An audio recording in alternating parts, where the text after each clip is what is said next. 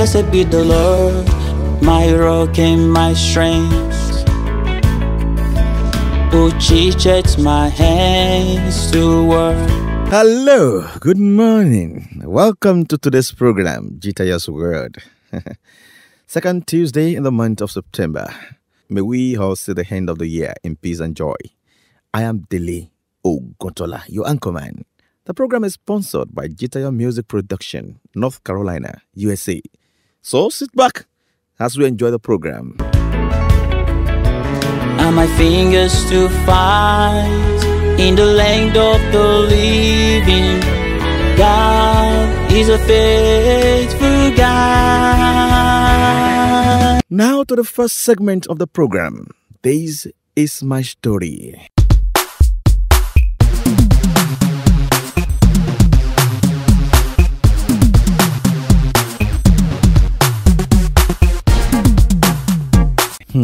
My name is Joseph Scriven. I was born near Dublin, Ireland in 1820. My father was a captain in the Royal Marines, and my mother's brother was an English vicar. My early life was pleasant. My parents were wealthy, well educated, and devoted to each other. After entering Trinity College, Dublin, I decided to follow a military career like my father, and I withdrew from the school to become a cadet at a military college. It soon became apparent that my health was not good enough to endure the rigors of military training. So, I resigned from the military college and returned to Trinity College from where I got my BA degree in 1842. I was engaged to be married. The day before the wedding, friends of my fiancée, they planned a party for the bride to be at the seaside. During the phone, everyone went for a swim in the ocean. My fiancée, she accidentally drowned and I was profoundly shocked. My relationship with my parents was also strained at this time for leaving their family church to go to another church. So, I decided to emigrate to Canada. When I arrived in Canada, I was 25 years old. I taught in two different towns for a while, and then I became a private tutor for the children of Lieutenant Pengelley, a retired Navy officer. There, I met Roche, Roche Eliza, a relation of the Pengelley family, and we were soon engaged to be married. My life seemed to be becoming bright once more.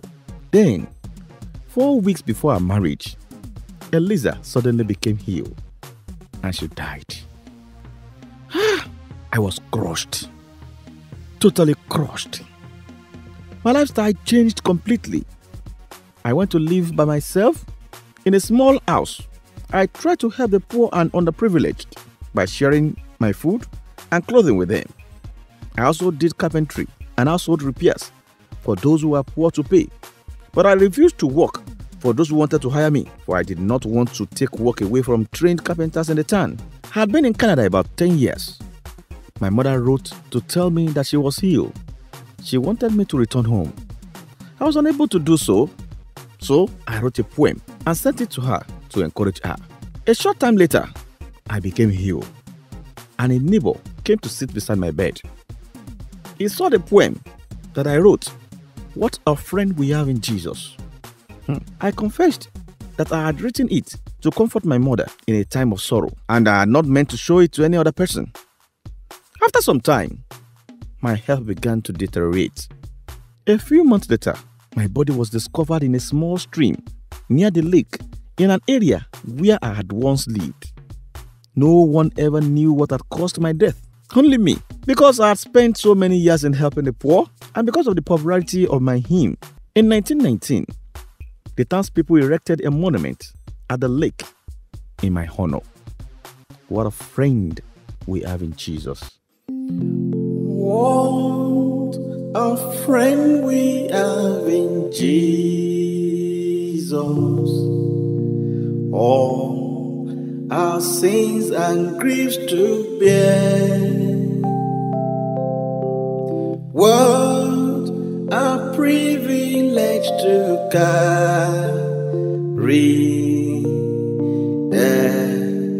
everything to God in prayer. Hmm. My good friends, this is my story. Joseph Medlicott Scriven, born 10th September 1819 and died 10th August 1886. Friend, don't stop that thing you are doing. Continue. Add more efforts. Testimonies of joy awaits you very soon. It might look hard today, but surely there is a bright star ahead. This is my story. The next segment of the program, GTS Music. The music for today is Resting Place.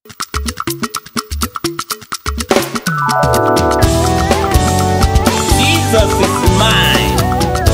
What an assurance! I find a resting place. I find the truth and life. By your words, I am satisfied. I am the lamp of God. I am your chosen one. By your grace, I am satisfied. Everybody come over and see. I have a good God. Everybody come over and see. I have a good God. Everybody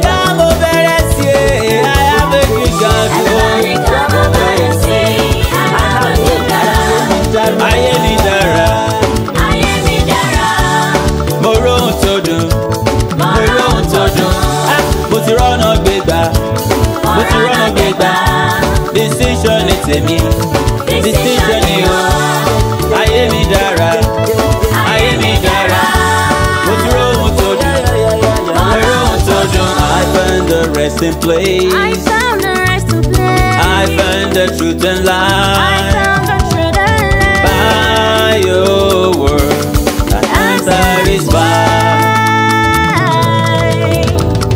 I am the lamp of I God. am the lamp of God. I am your chosen one.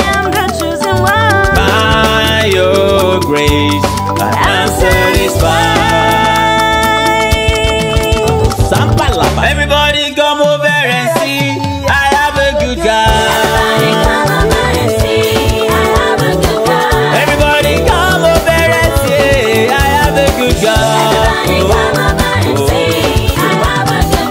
Everybody God. come over and see. I have a good God.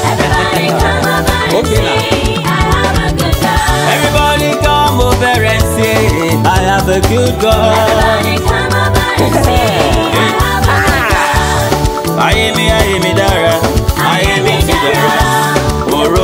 Jọ mí lójú, mo ti róhun tó jọ yẹ. Distinction ní tèmi, Jesus is the Lord, everlasting Father, yeah. The lifter of my soul, the rose of Sharon, kábíyèsí bàbá. Lion of Judah, you're the resting place, yeah. Thou exalted above all the earth. I will wave my hands to you. I will sing hallelujah. God of all the cardinal points. You can bring my favor, yeah. Can bring my glory, yeah. From any direction. You seated in heaven. You the whole world. Everywhere in the world is your footstep, Baba. Nígbà tí mo wò wájú, nígbà tí mo wẹ̀yìn o. Láàárín níbi gbogbo, mo rí iṣẹ́ ọwọ́ yìí o. Mo rí iṣẹ́ ọwọ́ yìí o. Alágbára jùlọ. Everybody come over and see.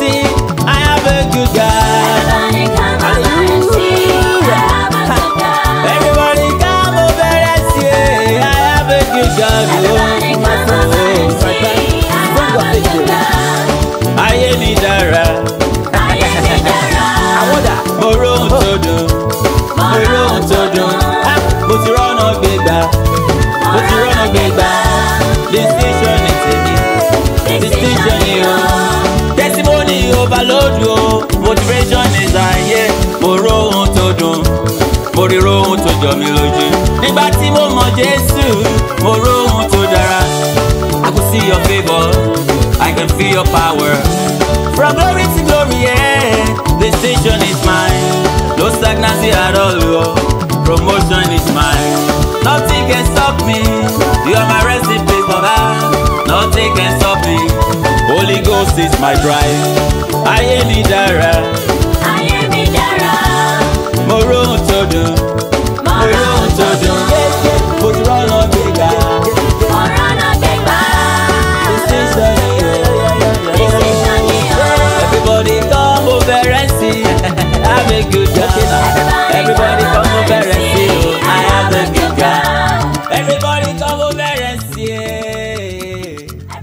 glory to Jesus. Glory to Jesus. I hope you enjoy the music. You can download it and other Olu Akande songs on iTunes and other digital platforms.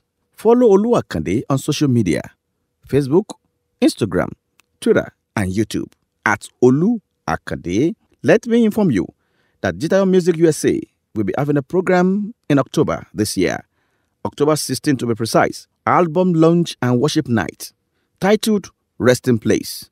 So you are cordially invited. Venue is 3062 Doc Bennett, Fayetteville, North Carolina, 28306 by 6 to 8 p.m. Eastern Time. And also by December, we'll be live in Ogbomoso City, Nigeria. For more details, you can contact our Director of Operation on plus one 231 620 4208 or plus 234 812 647 2994. And if you have any information for the CEO, Jitayo Music, the Director of Operation will revert. Now let us listen to the word for the week from the CEO, Jitayo Music Production, North Carolina, USA. Good day, my brother and sister. My name is Olu Akande. Welcome to today's episode. Today, we're going to be talking about hurry up and wait. Hurry up and wait. In my career, we say hurry up and wait. It means some things in life require to act quickly, while some need patiently waiting diligently. I'll say that again. It means some things in life require us to act quickly, while some need patiently waiting diligently. God is always online and never for one time be offline. He knows what is going on in your life. His network has and will never fail. The Lord is good to those who wait for Him, to the soul who seek Him. It is good that one should wait quietly for the salvation of the Lord. Psalm 40, verse 1 says, I waited patiently for the Lord.